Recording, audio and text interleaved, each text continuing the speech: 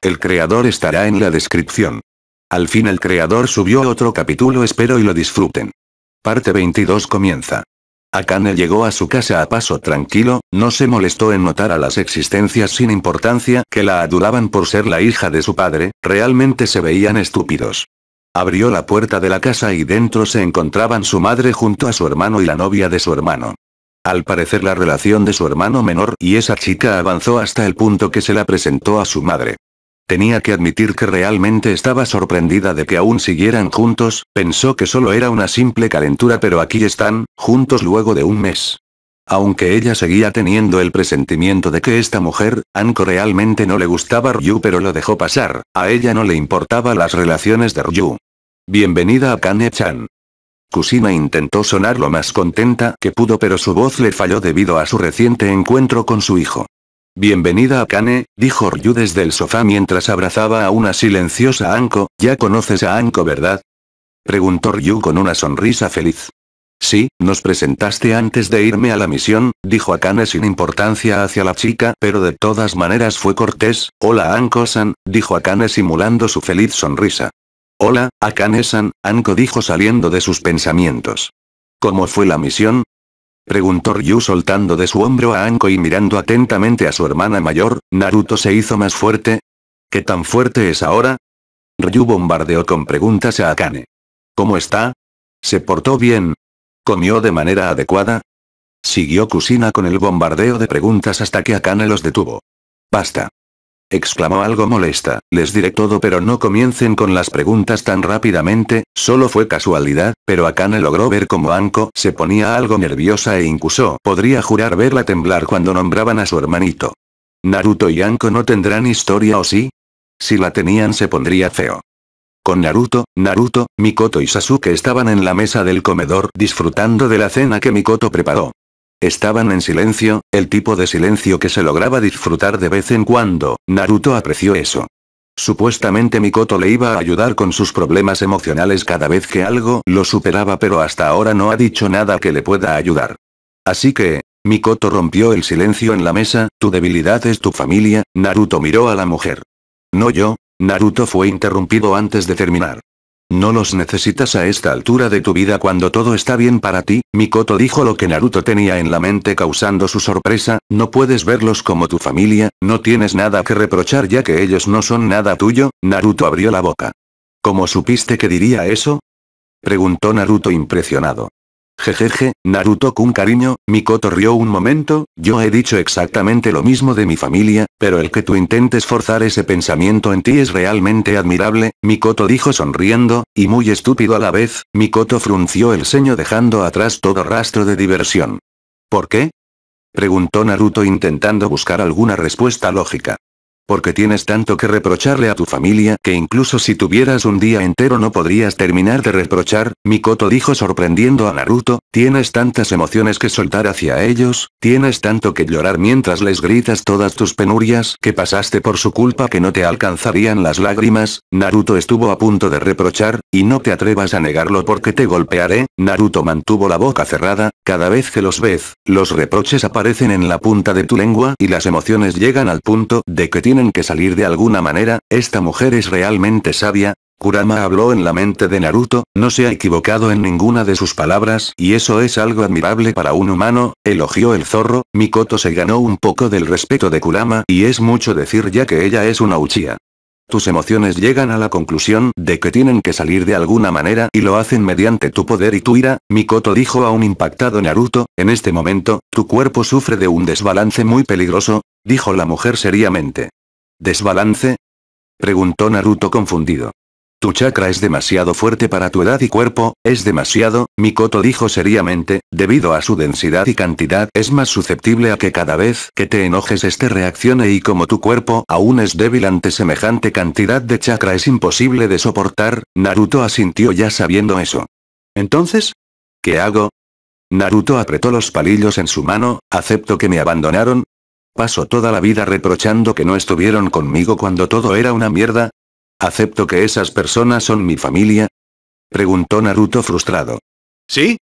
exclamó Mikoto señalando al chico, sueltales toda la mierda en la cara, gritales todas tus frustraciones, gritales en la cara cuanto los odias. Mikoto exclamó levantándose de su mesa, sueltales todas las cosas que quisiste decirles durante cuatro malditos años. Suelta todas tus emociones, grita, llora, enfádate, odia, haz todo lo que debiste haber hecho desde el momento que te enteraste que te abandonaron. Sé un maldito humano normal por una vez en tu vida maldita sea. Sasuke tenía la boca abierta en shock. Jamás en sus más locos sueños pensó que su madre hablaría de esa manera, claro, ella era una madre muy excéntrica y la escuchó decir groserías antes, pero nunca con una explosión así, realmente estaba comenzando a pensar que no conoce tanto a su madre como pensó. Por otro lado, su madre tenía razón, ella lo ayudó a él mismo cada vez que un pensamiento oscuro aparecía cada vez que escuchaba el nombre de Itachi, aunque aún lo odiaba e iba a matarlo algún día, no se volvió loco y alejó a todo el mundo en busca de poder. ¿Y se vuelvo a explotar? Preguntó Naruto conteniéndose de no gritar. No lo harás, una vez sueltes todo, te sentirás ligero, tu carga se habrá ido y tus emociones ya no se apoderarán de tu poder, Mikoto suspiró y volvió a sentarse, una vez hagas eso Naruto-kun, tendrás acceso a tu máximo potencial, un poder que está latente en tu cuerpo, pero que tu mente no lo deja fluir de la manera correcta, Naruto lo meditó, mira, Mikoto volvió a suspirar, sé que es difícil, yo misma he pasado por una situación similar y no te estoy diciendo que vayas en este momento y les digas a todos que son una mierda, Naruto contuvo las ganas de reír ante lo que dijo la mujer su imaginación le jugó una mala pasada, medita y cuando estés listo hazlo, tienes que hacerlo o de lo contrario las cosas se pondrán feas, tanto que me aterra el solo pensarlo, Naruto inclinó la cabeza. Sí, Naruto suspiró, si no fuera por mi chakra esto no estaría pasando, si solo hubiera entrenado mi cuerpo, se lamentó el rubio. No solo eso, dijo Mikoto ganándose una mirada del rubio, piensa en esto, Mikoto lo miró seriamente, eres un triafín de los tres elementos ofensivos, viento, fuego y rayo, los tres son puramente ofensivos, Naruto asintió, no solo tienes el talento natural para esos elementos, sino que también tu chakra es demasiado denso, Mikoto sonrió al chico, tu repertorio será puramente de jutsus ofensivos y destructivos, no me extrañaría que tu apodo en el libro bingo tenga algo que ver con la destrucción, Mikoto sonrió, pero, pero, Naruto repitió lo que dijo Mikoto esperando una respuesta. Imagina una explosión de ira con tus poderes inestables, de solo imaginarlo Mikoto sentía escalofríos en su columna, si explotas así como estás en este momento será algo aterrador y es muy probable que mueras luego de desatar toda la ira incontrolable, muchas personas inocentes podrían morir, Mikoto advirtió seriamente y Naruto tragó duro mientras el sudor nervioso comenzaba a caer de su frente, nunca lo pensó de esa manera. Aburrido, fue lo único que pudo decir mientras comenzaba a asustarse de su propio poder. Kasanamikaze, así que, Ryu sonrió de forma depredadora, mi hermanito se volvió más fuerte, la emoción era palpable en su voz. Después de lo que pasó en ese pueblo, es como que si fuera otra persona, Akane dijo mientras comía sus dulces con una sonrisa infantil, luego comenzó a entrenar. Exclamó con una sonrisa, se hace más fuerte muy rápido. Anko estaba confundida, Naruto entrenar, PFF, nunca lo había visto entrenar antes y si lo hizo fue para liberar su enojo. Estaba segura de que la misión le había golpeado con lo que le contó a Kane pero impulsarlo a entrenar. Algo debió pasar que Akane no sabía. Quiero ir a pelear con él ya. Exclamó Ryu levantándose del sofá. No pelearás con tu hermano. Exclamó Kusina molesta provocando que Ryu chasquee la lengua y se vuelva a sentar, su madre no bromeaba cuando hablaban de su hermano menor. Yo no lo haría si fuera tú, Akane dijo mientras comía sus dulces felizmente. ¿Ah? ¿Por qué no debería? Preguntó Ryu confundido. Porque si lo haces explotar, no me cabe duda que morirá, Akane dijo simplemente provocando que Ryu se confunda aún más, vi una parte del poder que Naruto reprime en su interior y solo una cuarta parte parte bastó para quedar al borde de la muerte, Kusina abrió la boca horrorizada. ¿Ku qué? Kusina dijo con horror en su mirada, ¿por qué no me dijiste eso antes? exclamó al borde de las lágrimas. Porque está bien. exclamó Akane no entendiendo las lágrimas de su madre. Bueno, Anko habló no soportando escuchar el nombre de Naruto, creo que ustedes están hablando de un tema delicado así que me retiro, Anko se levantó del sofá y se dirigió a la puerta. Te acompaño, se ofreció Ryu a punto de levantarse. No es necesario Ryu, dijo Anko con una sonrisa que Akane podía decir que era la más falsa que podría poner la chica, soy una Honin, puedo cuidarme bien además están hablando de un tema delicado, Ryu se volvió a sentar. Akane entrecerró los ojos y miró a Anko, no le gustaba esta chica. No por Ryu, él tiene la edad para saber perfectamente lo que hace sino porque esta mujer tiene historia con Naruto, podría ser el hecho de que fueron amigos y por alguna razón se distanciaron, eso explicaría el verla temblar cuando hablan de su hermano, tal vez estaba triste o la otra opción era, ¿saben? Akane habló mientras Anko estaba a punto de irse, Naruto consiguió una novia en Nami, miró de reojo a Anko y sus sospechas. Anko sintió como una punzada en el corazón cuando Akane dijo eso, apretó las manos con toda su fuerza mientras su ira se acrecentaba en su interior, un pensamiento insano de golpear a Naruto hasta la inconsciencia y probar sus juguetes de tortura con la perra de la novia. ¿Es en serio? Preguntó Ryu con una sonrisa astuta, ¿y era linda? ¿Qué tan lejos llegaron? Ryu se rió. Oh, si era hermosa, Akane miraba a Anko morder su labio inferior por la frustración, si mal no recuerdo se llamaba Akiko, miró a su hermano ya perdiendo el interés en Anko, durante una semana Naruto no salía de su casa y griega. Akane escuchó el portazo y al girar vio que Anko ya no estaba, interesante, los ojos de Akane brillaron por un momento. ¿Con Naruto? ¿Dónde estaba Naruto? Pues, en este momento Naruto se encuentra babeando la vidriera de una tienda, la razón, una obra de arte se estaba exhibiendo y pedía a gritos ser comprada por él. Era un increíble mono naranja brillante con detalles negros, Naruto no pudo dejar de babear al ver la perfección en su color favorito, el solo verlo provocaba que las lágrimas varoniles caigan de sus ojos. ¿Sí? exclamó Naruto sacando a Gama-chan de su sello y encaminándose al interior de la tienda. ¡No! Naruto fue jalado hacia atrás por una voz femenina. Al ver quién era la malvada persona que le impedía comprar la maravilla frente a él, se sorprendió al ver a Kurena con una mirada molesta mientras tenía una mano en su cadera aumentando su aura de autoridad. ¿Qué estabas haciendo? Preguntó Kurenai con su aura oscura mientras Naruto sonreía con cara de yo no fui. Bueno Kurenai, verás, Naruto intentó excusarse pero el suspiro de Kurenai lo interrumpió. No puedo dejarte solo unos días, ¿por qué se te ocurre cometer una estupidez? Kurenai se frotó el puente de la nariz, bien, Kurenai descartó el tema y sonrió a su mejor amigo, es bueno verte Naruto, envolvió sus brazos alrededor de su cuello en un abrazo. Naruto correspondió al abrazo, realmente había extrañado a Kurenai durante el mes, y realmente fue un mes difícil para él y no podía esperar a contarle todo a ella y desahogarse un poco. Suéltalo perra, la voz de Inata los sorprendió a ambos. Naruto en shock giró para ver a Inata junto a Shino, estaba en shock por escuchar lo que creyó que escuchó de la boca de Inata. Al mirarla ella simplemente sonrió dulcemente, ambos creyeron que escucharon mal después de todo era Inata, ella era una niña dulce y amable ¿no? ¿Qué dijiste Ina? Preguntó Naruto al borde del infarto. Y yo dije, suéltalo sensei, y Mata actuó ruborizada mientras jugaba con sus dedos tranquilizando a Naruto y Kurenai, él lo siento mucho ese si los asusté, las lágrimas se acumulaban en los ojos de la niña provocando que Naruto y Kurenai se sientan como una mierda. No, yo lo siento Inata.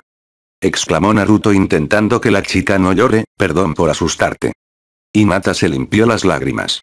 Está bien, y se limpió las lágrimas para luego sonreír dulcemente provocando que el instinto Siskon despierte en Naruto. Adorable, Naruto pensó, era imposible resistir a alguien tan adorable como Inata.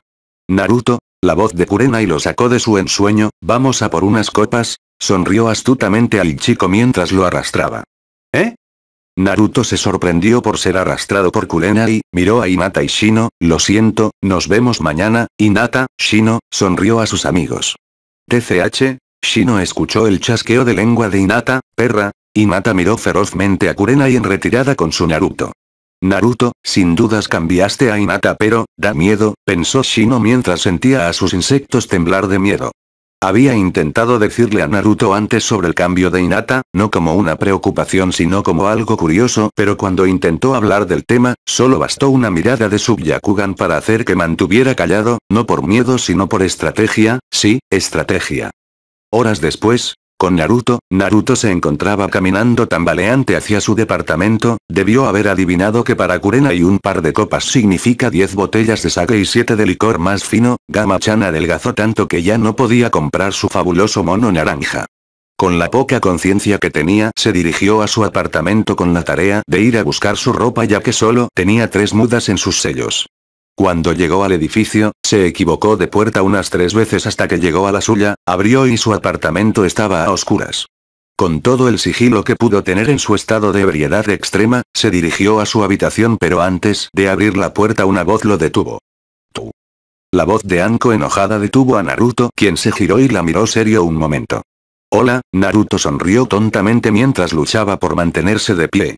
Anko no respondió y se acercó a paso rápido para luego tomarlo del cuello de la camisa, las ojeras le daba un aspecto deplorable a la mujer pero eso no impidió ver la furia en sus ojos irritados. ¿Quién mierda es Akiko? Preguntó mientras acudía a Naruto quien solo la miraba, ¿quién rayos es esa perra? Anko notó el fuerte aroma a alcohol de él. HMM? ¿Akiko? Preguntó Naruto como si nada hubiera pasado. Ah, Naruto sonrió, ¿es esa sexy mujer que me besaba cada vez que sus hijos no miraban? Naruto sonrió torpemente provocando aún más la ira de Anko. ¿Por qué? ¿Por qué te besabas con esa zorra? Anko sacudió a Naruto, no puedes hacerlo. No tienes el derecho. Exclamó, tú eres mío. No puedes estar con esa perra. Por un momento, sus palabras llegaron realmente a Naruto o tal vez incluso Ebrio podía notar la hipocresía de sus palabras, la cuestión es que un chispazo de electricidad provocaron que sacudan las manos de Anko para que lo suelte. Eres molesta. Naruto miró fríamente a Anko quien se frotaba las manos debido a la corriente de electricidad que le golpeó. Naruto sin más que decir entró a su habitación y cerró la puerta, no pasó mucho hasta que Anko salga del shock y esté a punto de gritarle pero antes de que lo haga a la puerta se volvió a abrir mostrando la cara de Naruto. Ah, y no le digas a Anko que estuve aquí. Naruto sonrió, se supone que no debe saber nada jeje, rió antes de volver a cerrar la puerta. Él seguía estando jodidamente ebrio, Anko cayó de rodillas dándose cuenta de lo que acababa de decir y hacer, las lágrimas nuevamente comenzaron a caer de sus ojos y apoyó su frente en la puerta mientras luchaba con sus sollozos. ¿Por qué, me besaste? Anko preguntó a Naruto mientras sollozaba, ¿por qué me haces hacer todas estas estupideces? Las lágrimas caían sin parar, ¿por qué me dejaste? ¿Por qué no te dije que te amaba? Preguntó pero no volvió a recibir respuesta, pues te amo, te amo Naruto. Te amo tanto que ni siquiera es gracioso. Desde ese día que me besaste he tratado de quitarme este sentimiento. Pero no puedo y es tu culpa. Exclamó esperando respuesta pero solo llegó el sonido de los ronquidos del interior de la habitación, maldición. Maldito ni siquiera estás despierto. Anko se sintió estúpida y se alejó con lágrimas en los ojos a seguir bebiendo en su habitación. 8. En el interior de la habitación, Naruto estaba durmiendo sentado justo en la puerta mientras reía tontamente por algún sueño que tenía en ese momento. Siento que esto será una maldición para ti, siempre estás ebrio en los momentos más importantes, la voz de Kurama intentó despertar a Naruto pero no tuvo efecto alguno, imbécil, al otro día, fue una sensación de déjà vu, se despertó con la peor resaca que pudo sentir antes, no recordando nada y sintiéndose un idiota que perdió un folleto para año de ramen gratis. Sintió que pasó antes pero no podía recordarlo. Mirando el techo maldijo a sí mismo, conocía este techo y no era el de la casa de Sasuke.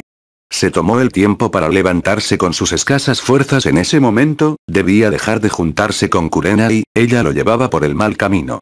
Imposible dijo Naruto sonriendo ante su pensamiento. Su cuerpo dolía debido a que durmió en el piso pero una parte de él se sintió cómodo, no había nada como su casa y extrañó su habitación. Con un suspiro, estiró sus doloridos huesos antes de entrar al baño a refrescarse, ya que estaba ahí se tomó su tiempo debido a que Anko probablemente sabía que estaba ahí. Luego de refrescarse tomó una mochila y juntó lo que pudo. Anko probablemente tiraría lo que quede, estaba seguro de que estaba enojada con él debido a lo que pasó antes de ir a la misión a Nami. Se preparó mentalmente para su posible encuentro con Anko, salió de su habitación y se congeló ante la vista. Anko estaba sobre Ryu mientras se besaban salvajemente mientras ella estaba ahorcajada sobre él. Otra sensación de déjà vu invadió. La ira y el dolor comenzaron a inundarlo y antes de hacer algo estúpido recordó el consejo de Mikoto.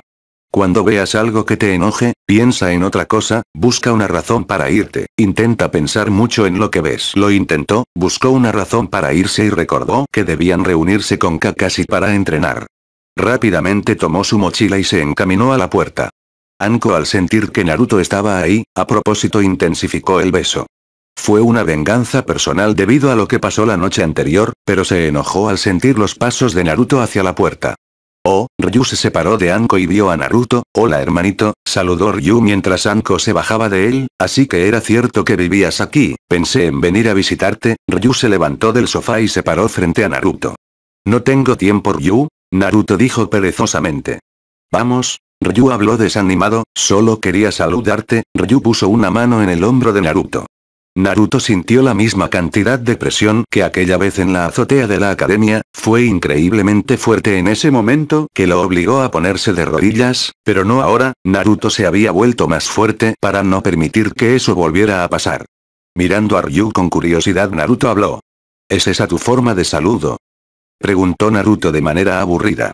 Así que es cierto, Ryu sonrió de manera depredadora, te has vuelto más fuerte, no tengo tiempo para malgastarlo contigo, Naruto tomó la mano de Ryu y la soltó de su hombro, si quieres pelear conmigo entonces alístate a los exámenes Chunin, Naruto miró hacia Ryu con una sonrisa desafiante, ahí te patearé el trasero, Ryu sonrió ante el desafío. Eligió aplazar su inminente pelea porque si peleaban en ese momento, Naruto perdería sin dar mucha pelea. Sin más que decir se retiró del apartamento dejando a la pareja sola. Al salir Naruto suspiró audiblemente y luego sonrió, no dolió tanto como pensó, lo que le dijo Mikoto funcionó. Antes, el hecho de ver a Ryu y Anko besarse habría provocado que estalle en ira pero no lo hizo, aún dolía claro está, él aún amaba a Anko pero no fue tanto como pensó. Con una sonrisa de confianza, Naruto se dirigió al punto de encuentro de su equipo, supuestamente Kakashi dijo que tenían una semana de descanso pero llamarlos al otro día de llegar significaba que los inscribió en los exámenes Chunin. Al llegar al punto de encuentro, se encontró con Sasuke y Sakura, con un perezoso saludo Naruto se sentó bajo un árbol a esperar al cíclope. Mi madre está molesta porque no llegaste anoche, Sasuke dijo sentándose bajo un árbol junto a Naruto, yo que tú me prepararía para el dolor, Naruto chasqueó la lengua. Bueno, es que Kurenai me arrastró a un bar y luego no recuerdo nada, Naruto dijo mientras se recostaba en el árbol en busca de la comodidad, no recuerdo casi nada de anoche, bueno, omite esa excusa de mi madre o Kurenai sensei estará en graves problemas, Sasuke rió. Yo. Kakashi apareció frente a los genin con su sonrisa de ojo. Llega tarde. La bocina de Sakura aturdió a todos. Kami, ese Keko y Genkai es mortal, Naruto dijo cubriéndose los oídos. Bueno, tranquila Sakura esta vez tengo una buena razón, Kakashi dijo tratando de calmar a la iracunda chica. Kakashi mostró con una sonrisa un papel a los genin y confirmó las sospechas de Naruto. Los inscribí a los exámenes Chunin, Kakashi dijo con una sonrisa de ojo. ¿Exámenes Chunin? Preguntó Sakura confundida, pero apenas llevamos unos meses como genin, yo tenía seis años cuando me convertí en chunin, dijo Kakashi a Sakura quien se dio el lujo de avergonzarse, no se trata de cuánto tiempo sino de que si yo, como su maestro creo que están listos, Kakashi sonrió. ¿Y lo estamos? Preguntó la peligrosa. Más o menos, Kakashi dijo frotándose la barbilla. Bien como sea, Naruto dijo tomando una hoja de la mano de Kakashi, tengo hambre, Sasuke hizo lo mismo y fue tras Naruto. Espera Sasuke-kun. Sakura tomó la hoja y se fue corriendo tras su enamorado dejando a Kakashi solo. Ni siquiera les dije cuándo es, Kakashi dijo con incredulidad, bueno, ¿qué importa? Kakashi se encogió de hombros y se fue a leer tranquilamente su libro.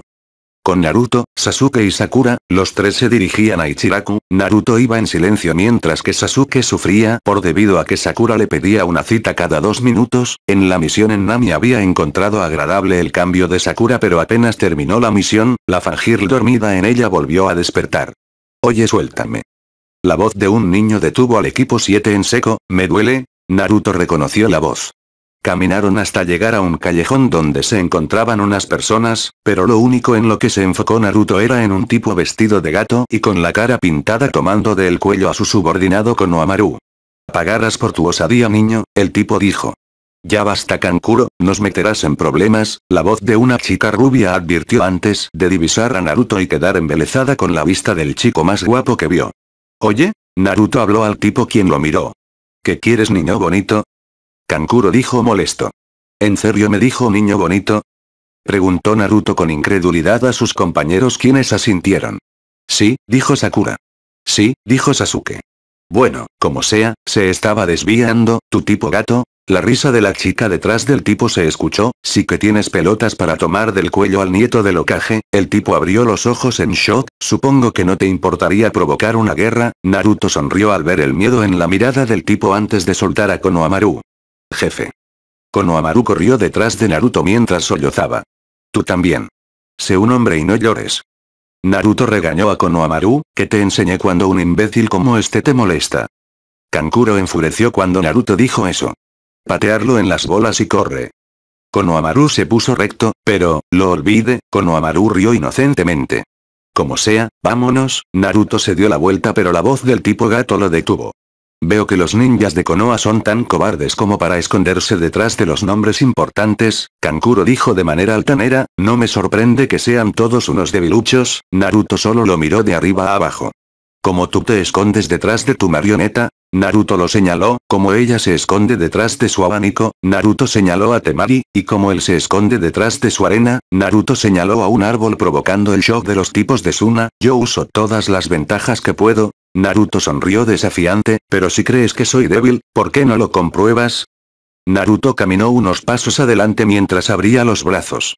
El tipo no contestó ya que se encontraba mirando con miedo al tipo que estaba boca abajo en la rama de un árbol. Por supuesto que Naruto notó desde el principio su increíble sed de sangre y como la arena se arremolinaba alrededor de él. Gagaara, Kankuro habló con miedo.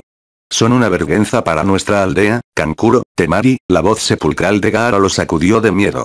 Con un shunshin de arena Gaara se paró frente a Kankuro y Temari quienes temblaban. Gaara verás, ellos, Kankuro fue interrumpido por Gaara. Cállate, o te mato, la mirada oscura de Gaara hizo temblar a Kankuro, tú, ¿cómo te llamas? Gaara dejó de hablar al darse cuenta que Naruto y su equipo ya se estaban alejando. Vamos con Oamaru, yo invito el ramen. Naruto exclamó a su subordinado mientras el chico caminaba alegremente junto a él. Sí jefe. Exclamó Konohamaru con alegría. Ese chico, ignoró a Gaara, Temari pensó en shock, eso solo lo vuelve más sexy, se sonrojó al imaginarse al sexy rubio y ella haciendo cosas no aptas para su edad. Gaara solo gruñó molesto antes de retirarse siendo seguido por sus hermanos. ¿Madre quiere la sangre del rubio? Gaara pensó oscuramente antes de sonreír de manera desquiciada. Fin parte 22.